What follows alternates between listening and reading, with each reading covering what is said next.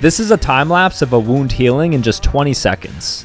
So the first step is hemostasis in which coagulation and scabbing occurs to stop further blood loss.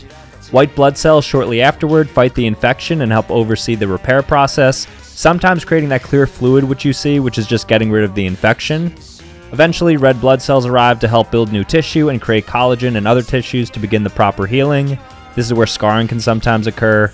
And then lastly, the new tissue continues to mold itself and gets stronger so that it properly heals, and in some cases is even stronger than before.